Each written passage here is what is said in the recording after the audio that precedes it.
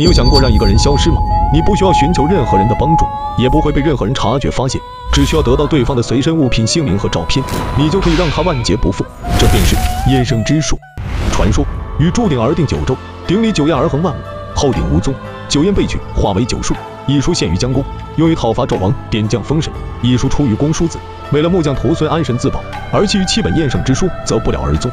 李长生的爷爷因多年前破解了一道验圣术，多年后招来灭门之灾。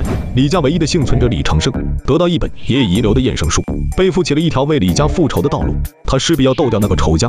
当李长生翻看那本验圣书，一刹那，平凡的世界不再平凡，他将面对的是一个灰暗的世界，一个斗艳的世界。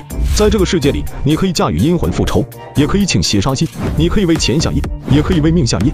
为了自己想要的一切下咽，一纸八字要命来，四字铜钱定生死。阎王要你三更死，我能保你到五更。奈何长生不老松，叶圣一下万火生。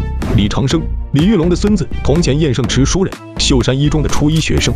因为是阴历正月十三子时出生，犯了阎王忌，故留小便取名李长生。安然，安文远的孙女，秀山一中初一学生。李玉龙，九大持书人之一，隐匿于秀山县城，拥有铜钱验圣书。安华人，李玉龙师弟，入宅三口段唯一继承人。欢迎收看我为苍生铜系列之斗验圣。